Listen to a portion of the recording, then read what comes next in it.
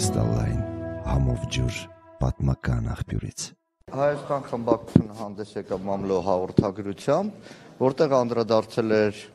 ընդհանրապես երկրում ստեղծված իրավիճակին եւ անդրադարձել էր ազգային ժողովի քարորիայի օրակարգում ընդգրկված հարցերին։ Դրան նախորդել էր Հայաստան խմբակցության ֆրակցիայի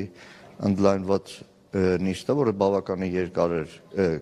տևել եւ բոլոր հանձնաժողովների անդամները զեկուցել են իրենց հանձնաժողովներում ընդգրկված օրակարգերը, դրանց կարեւորությունը, եղած խնդիրները եւ Քարորյան, ինչպես արդեն հիմա բոլորը տեսակ, տևեց մոտավորապես 3.5 ժամ, այսօրվա նիստը 12-13 րոպե հատկանշական էր, որ 3 ազգային ժողովի լիագումար նիստում նաև ներկայացվել էր 44-օրյա պատերազմի քննիչ հանձնաժողովի գործունեությունը եւս 6 ամսով երկարաձգել։ Զեկուցողը Պաշտպանության հանձնաժողովի նախագահ Անդրանիկ Քոչարյանը իր գրավոր զեկույցը զեկույցը տևել էր 2 րոպե 9 վայրկյան որևէ հարց, որևէ ելույթ այդ զեկույցի հետ կապված չի եղել։ 2 րոպե 9 վայրկյան, եւս 31 վայրկյան էլ բանավոր խոսվել էր, որից པարզ էր դառնում, որ կարծես 44 օրյա պատերազմի մեղավորը Վարդան Օսկանյանն է, որին շատ հապճեպ կանչել էին քննիչ հանձնաժողով եւ նա հրաժարվել էր։ Մնացած բոլոր հարցերը գրեթե ելույթ չի եղել ազգային ժողովում, հայտարարությունների ժամին, որ ավանդաբար շատ ավելի տարօրինակ է լինում 3 հայտարարություն է եղել իշխող խմբակցությունից, եւ սա փաստում է մեկ բան։ Եթե ընդդիմությունը հայտարարում է քաղաքական բոյկոտի մասին, չի մասնակցում ազգային ժողովի լիագումար նիստերին եւ հանձնաժողովի նիստերին, մնացյալ բոլոր գործիքակազմերով հարցապնդումներ, մարզային այցելություններ, միջազգային պատվիրակություններ, տարբեր հարցերում միջազգային տարբեր հարթակներ, նամակներով, հայտարարություններով իրավիճակի շուրջ անհանգստություններ արտահայտել, ապա իշխող խմբակցությունը քաղաքական բոյկոտի տարբերություն ընդդիմության քաղաքական բոյկոտի փոխարեն ուղղակի աշխատանքային բոյկոտի է ենթարկում ազգային ժողով։ Սա վկայում է, որ ուղղակի քաղաքական մեծամասնությունը անգործության է մատնված ազգային ժողովում։ Եվ եթե վերհիշենք, ընդհանրապես բոլոր այն նիստերի, քարորյաներին, երբ որ ընդդիմությունը քաղաքական բոյկոտի հայտարարություն արել, չի մասնակցել, գրեթե քննարկում ազգային ժողովում չի լինում։ Չի լինում ընդդիմություն,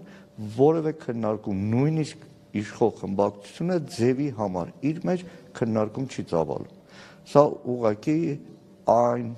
սնանկությունը, որը կա այսօր ազգային ժողովում, այն ճգնաժամը, որ կա ազգային ժողովում, դրա բառ վկայությունն է։ Շարունակելու եք մասնակցել նիստերին։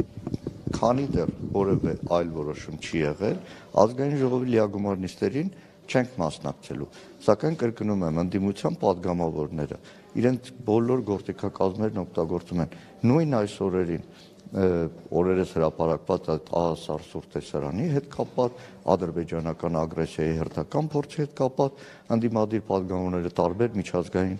կառույցներում ներկայացված Հայաստանի կողմից պատվիրակության անդամները իրենց նամակներով, հերոսազանգերով, ահազանգել են այդ մասին։ Բազմաթիվ հարցապնդումներ ներկայացրել են կառավարական տարբեր գերատեսչություններ։ Մի քանի հրապարակում էլ եղավ, որ կառավարություն, տարբեր գերատեսչություն բազմաթիվ կարևորագույն հարցերի շուրջ սահմանված օրենքի համաձայն որ պարտավոր է պատասխանել падգամորական հարցապնդումներին, զլանում է անգամ այդ գործառույթն իրականացնել։ Առաջիկայում Սերսովյանի կոմիտեի նիստ է լինելու եւ դրանից հետո նաև մամլին կտեղեկացնեմ, թե Հայաստանի պետական գերատեսչությունները ինչպիսի խայտարակ պահվածք են ցուցաբերում նույնիսկ կարևորագույն արտաքին քաղաքական հարցերում։ Ընդդիմությունը այլ ինչ գործողություններ է անելու, այսինքն մենք տեսնելու ենք շոշափելի քայլեր, որովհետև որոշակի զանգված ավելի շատ ակնկալիքներ ունի ընդդիմությունից, օրինակ վեհապարների եւ վեհապարի ներողություն եւ նախկին նախագաների ֆորմատից, քան իշխանություններից պետք է հիշենք վեհապարի եւ նախագահների ֆորմատը ինչպես ձևավորվեց անցնող օրերին այդ ձևաչափի հետ կապված զարգացումներ տեղի ունեցան իհարկե շատ ողջունելի էր նախագահների պատրաստակամությունը, նաև Արցախի նախագահների պատրաստակամությունը, որը վկայում էր, որ իրոք այնպիսի վտանգված իրավիճակ է, որ բոլորն էլ պատասխանատվության գիտակցնով էին մոտենում հարցին, այստեղ մեծ խնդիր առաջացավ Լևոն Տեր-Պետրոսյանի հայտի հայտարարության հարցազրույցի օրերս էլ իր մեկ այլ հայտարարության թե այլևս իշխանություն ընդդիմություն երկխոսության այդ հարթակը դադարել է գոյություն ունենալ, որի մասին ի դեպ իր հարցազրույցից հետո բոլորն էլ ասում էին. Այն առաջարկը, որը ներկայացնում էր Տեր-Պետրոսյանը գնալ իշխանության հետ երկխոսելու հստակ եւ Նիկոլ Փաշինյանից տեղեկանալու բանակցային առաջարկների մասին հստակ ասում են, որ այդ մարդու հետ խոսելու որևէ բան չկա եւ խնդիրը ոչ թե երկխոսության հարթակ ձևավորելն էր, այլ խնդիրը իրավիճակից լուծում գտնելը եւ ակնկալելի է, որ այդ ձևաչափը կշարունակվի թեկուզ առանց Լևոն Տեր-Պետրոսյանի։ Այսինքն իրեն հանում եք, հա։ Թե ինքն է հրաժարվում։ Իր հայտարարությունից հստակ չէր եթե լինի հանդիպում կմասնակցի, թե չի մասնակցի, արդեն իր որոշելիքն է։ Այսինքն պարոն Մանուկյան, խնդիրը Լևոն Տեր-Պետրոսյանի հայտարարության մեջ էր, թե նրա մեջ ոնց որ մեկնաբանում են ԿՊԱ-ականները, որ պարզապես Ռոբերտ Քոչարյանը կոնսոլիդացիա էր պահանջում իրաթորի համար։ Ի սկզբանե շուրջ խնդիրը իշխանության շուրջ կոնսոլիդացիայի պահանջով հայտարարություն չի եղել։ Եթե հիշեք վեհապարի հայտարարությունը իրավիճակի շուրջ լուծում գտնելու հարցն էր եւ դրա համար էր որ իր սկզբանը երբ որ Տեր Պետրոսյանն առաջարկում էր կոնսոլիդացվել իշխանության հետ մենք հստակ ասում էինք գնալ կոնսոլիդացվել եւ Նիկոլ Փաշինյանի կապիտուլյացիոն քաղաքականությանը աջակից դառնալ հստակ էր դա որ Փաշինյանը նախ Տեր-Պետրոսյանը ամիսներ առաջ ասում էր պաթոլոգիկ ստախոս էր Նիկոլ Փաշինյանը ստախոսի հետ ինչ տեղեկություն կարելի է քննարկել ստախոսը կարող է ամբողջական ճշմարտություն ասել թե ոչ դա առաջին հարցն էր եւ երկրորդը հստակ նշում ենք որ այս իշխանության քաղաքականության շուրջ կոնսոլիդացիան ուղակի Նիկոլին փրկելու ծրագիր է, որ առաջարկում էր Տեր Պետրոսյանը, որը տապալվեց ինքն էլ արցանագրեց, որ տապալված է, իր կողմնակիցներն էլ արցանագրեցին։ Պարոն պարոն Մանուկյան հայկական ժամանակը Ադրբեջանի 5 պահանջները հրապարակեց, որքանով եք դա հավաստի համարում եւ ինչպես կմեկնաբանեք այդ 5 կետերը, որովհետեւ քաղաքական գործիչները եւս ասում են, որ խնդիրը Արցախն է, Միջանցքն է եւ 5 կետերի մասին են խոսում։ Ռուսաստանի պահանջը։ Հարգելի Բելա, միասին աշխատել ենք երկիր մեդիայում, գիտեք երկիր մեդիայում իմ դրած ոսկե օրենք ադրբեջանական տեղեկատվություններ չտարածել հարասարակության մեջ։ Այդ անանուն աղբյուրը պետք է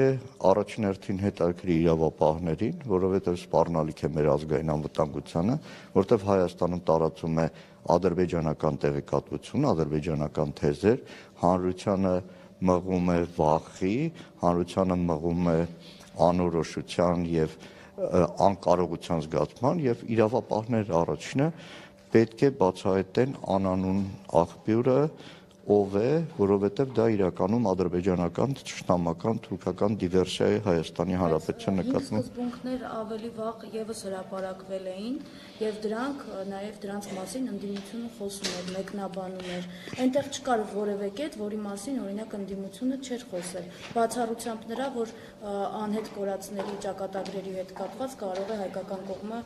հայկական կողմի պատասխանատվության հարց բարձր։ Եթե հիշում եք 5 սկզբունքներ պայմանականացում ադրբեջանական, դա հաստատել էր նաև Հայաստանի պաշտոնական ներկայացների կողմից եւ այլևս դարել էր օֆիցիալ պաշտոնական տեղեկատվություն դրա համար էլ մեկնաբանում ենք։ Այս դեպքում խոսքը վերաբերում է անանուն աղբյուրի,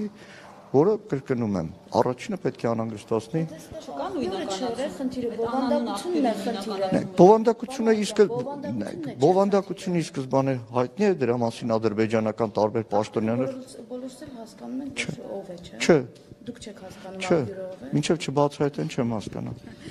Կասկածներ ունեմ վստահաբար, բայց այդ կասկածները կրկնում եմ առաջին հերթին պետք է հետարկրին իրավապահ մարմիններին։ Երեք Փաշինյանական թերթը Եվս մի հոդված գրեց Բելարուս մի, մի Ռուսաստան միութենական հապետության միանալու մասով եւ նաեւ զուգահեռ Ամերիկա աջակցությամբ 17 գերիները մեր բաց թողնվեցին։ Ինչ որ կապ տեսնում եք դեպի Դե, Դրա Ռուսաստանի միացնել նաեւ Օրերս Փաշինյանի մյուս Twitter-յան գրառումը, որը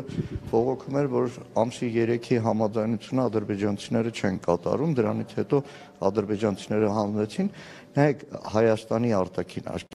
այն մասին, ինչ մասին որ արդեն տևական ժամանակ խոսում ենք, Հայաստանի ցակու ծրիվ իրարամերժ փնթի արտաքին քաղաքականությունը, տարբեր մայրաքաղաքներում տարբեր բան խոսել, իրարամերժ հայտարարություններ անելը ուղղակի հեղինակազրկում է Հայաստանի վարկը ուղղակի Հայաստանին որպես լուրջ գործընկեր, որպես դիվանագիտական լուրջ խաղացող այլևս նման կարգավիճակից զրկում է, որը սպառնալիք է մեր ազգային անվտանգությանը։ Մի հարց կարելի է նորից վերադառնանք կաթողիկոսի հանդիպմանը Արմանիկյան։ Եթե 6 հոգով հավաքվում են միտեղ մի հարցի շուրջ լուծում գտնելու ու չի լինում կոնսոլիդացիա, դուք ո՞նց եք պատկերացնում, որ ամբողջ ժողովրդին կարողանանք համախմբել։ Նայեք, իրականում որևէ մեկս այդ հանդիպմանը ներկա չենք եղել եւ որևէ մեկս չեն կարող ասել թե կոնսոլիդացիա եղել է, թե չէ, կամ կոնսոլիդացիա ներողություն, կամ կոնսոլիդացիա -1 եղել է, թե ոչ։ Առայժմ այն հայտարարությունները հրապարակային նախագահների կողմից որ եղել են, այդ հայտարարությունները վկայում են, որ Տեր-Պետրոսյանը ունի այլ տեսակետ, որը Ռոբերտ Քոչարյանը իր մամլոասոլությունը շատ բարձ ասեց, չփոխփոխված տեսակետ է դեռ 90-ական թվականներին, բայց դա նախագահների համատեղ հավաքի, համատեղ քննարկման եզրահանգումը չէր։ Պետք է հիշեցնեմ իր դեպ, որ պատերազմի օրերին նման ձևաչափով, մի քիչ ձևաչափով հավաք եւս եղել էր, որին ազգային ժողովի նախագահը կարծեմ թեզ է շրջանառել, թե մերժել են առաջարկը Նիկոլ Փաշինյանի հետ հանդիպման, որը իրականության հետ աղերս չունի։ Եվ պարոն Մանուկյան, Վայ Հակոբյանը մեծ զրույցում ասաց, որ մինչև տարվա վերջ Նիկոլ Փաշինյանը չի լինելու եւ չի շնորհավորելու հայ ժողովրդի նոր տարին, դա անելու են կամ որևէ այլ անձնավորություն կամ մի խումբ մարդիկ։ Դա նրա անձնական հաշվարկներն են, թե խմբակցությունը ընդհանուր գիտի ինչ ծրագրով է դրան հասնելու։ Գիտեք, կարծում եմ Վայ Հակոբյանը արտահայտել է մեր ժողովրդի մեծ մասի ցանկությունը, որովհետև որովհետև բասրան երբեք լարելու, բայսի երբա գնալու, սրա վերջը երբա լինելու հարցը հիմա Գեգամ Նազարյանի հետ ազգային ժողովից քայլելով իջնելու ենք դաշնակցության գրասենյակ, որ ավանդաբար միշտ փողոցով քայլում ենք մենք, ամեն քայլափոխի այդ հարցն է ինչ։ Դա արդեն հանրային տրամադրություն, հանրային պահանջ է մանդատը վայր դրեց, դա արդյոք կարող է կապված լինել նաև խմբակցության այդ որոշակի անհամաձայնության հետ, թե նրան չեն ներել պարզապես ներողության համար Աննա Հակոբյանի հետ կապված այդ։ Չէ, Մխիթար Զաքարյանը մնում է մեր գործընկերը, մեր լավ գործընկերը, մեր պայքարի ընկերը։ Դե ասեմ, այդ պայքարի մեջ Մխիթար Զաքարյանի ворթին եւս կարող ենք միացնել այդ պայքարի մաս, որտեղ նույն դիմադրության շարժման օրերին շատ ակտիվ է։ Մխիթար Զաքարյանը մեր գործընկեր ուղղակի նրա անձնական որոշումներ խորհրդարանից դուրս իր գործունեությունը ծավալել վերատնվող Հայաստան կուսակցության շարքերում, բայց դեռ մի շաբաթ Մխիթար Զաքարյանն ունի վերջնական որոշում կայացնել։ Ձեզ աղացրինք անցել հարցակնության քուրտ ազատամարտիկների գործով մի քիչ փակագծերը կբացեք առանջություն։ Չէ, փակագծեր չեն բացի, հարցակնություն է եղել, մնացածը խորհուրդ կտամ դիմել քաղաքացիական պայմանագիր խմբակցության падգամավոր քրդական համայնքի կողմից ազգային ժողովի պատգամավոր ընտրված կնյաց Հասանովին։ Մենք խոսել ենք հետո ինքը տեղեկություններ չունի, ասում է խճճվել եմ, չգիտեմ որն է ճիշտ։ Դե ուրեմն համարենք, որ իշխող խմբակցության պատգամավորը խճճվել է։ Շնորհակալ եմ։ Արցախում հակառուսական դրամատրությունները խիստ վտանգավոր են համարում։ Դուք նման դրամատրությունները արդյոք վտանգավոր եք համարում, հատկապես եւ երեք հայտարարություն եղավ, հնարավոր է հապկը դուրս գա Հայաստանից այս ձևակերպում։ Գիտեք, Ալեն Սիմոնյանը, Ալեն Սիմոնյանը չի ասել։ Հա, մի բան ասեմ, Արեն Սիմոնյանը երեք մի հատ զուգահեռ էր տարել, որ խաղաղության այդ դարաշրջանի դեմ եղողները ծովիցով Հայաստան թե մուս ասուն են ուզում։ Մի հատ վերհիշեք եւ հանեք Ալեն Սիմոնյանի Facebook-յան լուսանկարը 2020 թվականի սեպտեմբերին։ Ալեն Սիմոնյանի հայրենիքը Աղդամն է։ Թող հետ բերի Աղդամը ոչ թե խաղաղության կեղտ օրակարգի մասին հայտարարություններ անի։ Իսկ ինչ վերաբերում Արցախի անվտանգության խորհրդի հայտարարությանը, իհարկե Արցախի անվտանգության խորհրդի հայտարարությունում փորձել էին Հայաստան-Արցախ ջրբաժան մեծ ջրբաժան ստեղծել, շատ զգուշավոր էին արտահայտվել, թեև հասունացել է պահը, պետք է պարզ արցախցիները հայտարարություն անեն, պարզ խոսեն Արայիկ Հարությունյանից սկսած մինչև անվտանգության խորհուրդ ու քաղաքական ուժեր, որ եւ բայց այն զգուշացումները, որը կար անվտանգության խորհրդի հայտարարության մեջ, Հայաստանը ձեռքերը լվացել է բանակցային գործընթացից, Հայաստանը այլևս Արցախով չի զբաղվում, բանակցային process-ի ձևախեղումը լուրջ ահազանգերեն ուղված ամբողջ հայ ժողովրդին։ Իդեպ ազգային ժողովի ղեկավարությանը հարցրեք, մենք Արցախում ենք սեպտեմբերի 2-ին ազգային ժողովի Արցախի ազգային ժողովի ղեկավարությունը ասում էր որ Հայաստանի իշխանությունները խոստացել են սեպտեմբեր 18-19-ին Հայաստան-Արցախ միջխորհրդարանականի նիստ գումարել, որը այս ազգային ժողովը մինչև հիմա չի գումարել եւ մեր բոյկոտի պատճառներից մեկը եղել է հենց դա։ Ինչու մինչև հիմա էլի չգումարեցին։ Շնորհակալ եմ մոտեցա, գուցե պատասխանել եք այդ հարցին։ Դուք ասում եք, որ կգանք խորհրդարան միայն եթե ունենանք սեփական օրակարգ։ Կարող ենք ասել, որ արդեն ունեք այդ օրակարգը, որ այսօր եկել է խորհրդարան։ Դեք օրերս ազգային ժողովի նախորդ քարորայում կար օրակարգային հարց, եկա ազգային ժողովի նիստերի դահլիճ, ելույթ ունեցա հայտարարություն արի կոչով դիմեցի քաղաքացիական պայմանագիր կուսակցության պատգամավորներին։ Նորից եմ ասում, վաղը չբացառվում օրակարգային հարց ունենանք, բերենք ազգային ժողով, քննարկենք, վախենում եմ, որ շատ հարցերի դեպքում իշխող խմբակցությունը կբոյկոտի նման օրախնդիր հարցերի քննարկում, ինչպես եղել է նախորդ ամիսներին։ Քարտ պատասխանում կարող է որոշել Կապ Փաշինյանին մի հաստատ։ Չէ, ավելի շատ հիմա հարց պետք է տալ անանուն աղբյուրը։